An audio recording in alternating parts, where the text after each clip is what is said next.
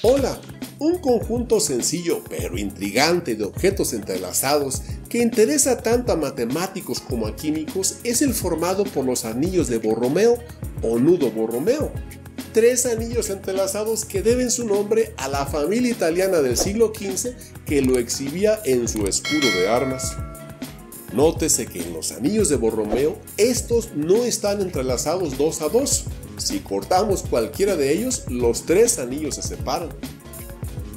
Algunos historiadores opinan que es posible que la antigua configuración de los anillos representara a las familias de Visconti, Sforza y Borromeo que formaron una delicada unión por medio de matrimonios.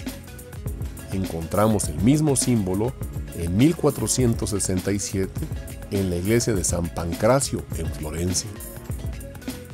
Otras versiones aún más antiguas, triangulares, eran utilizadas por los vikingos.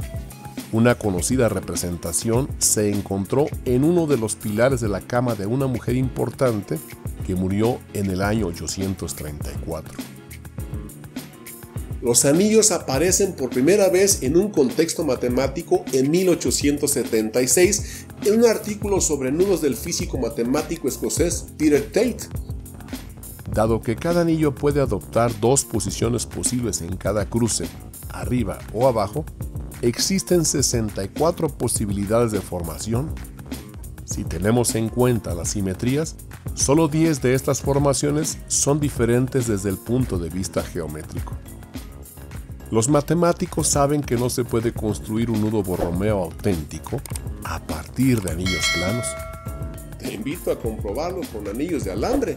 Verás que es necesario deformar o retorcer el alambre. En 1987, Michael Friedman y Richard Square demostraron un teorema que establece que los anillos de Borromeo no pueden construirse con circunferencias planas.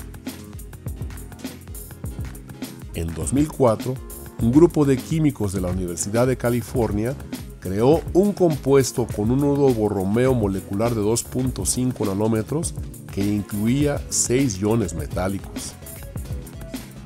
En la actualidad, los investigadores buscan formas de utilizar estos nudos borromeos moleculares en campos diversos como los spintronics, una tecnología que aprovecha el spin y la carga del electrón y las imágenes médicas.